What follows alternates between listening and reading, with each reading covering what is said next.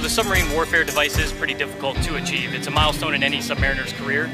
We have our pin and we expect a lot out of our sailors. We expect them to know a lot and we expect a lot because when we do go underneath the water, I can look at someone with that pin and understand that they're going to be able to save the ship.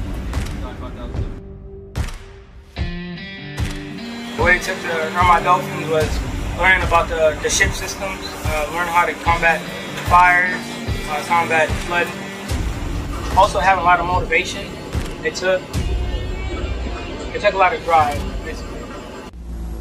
It allows my shipmates to entrust in me to save their lives if they're sleeping in the wreck and I'm on watch to fight any casualty that was to occur.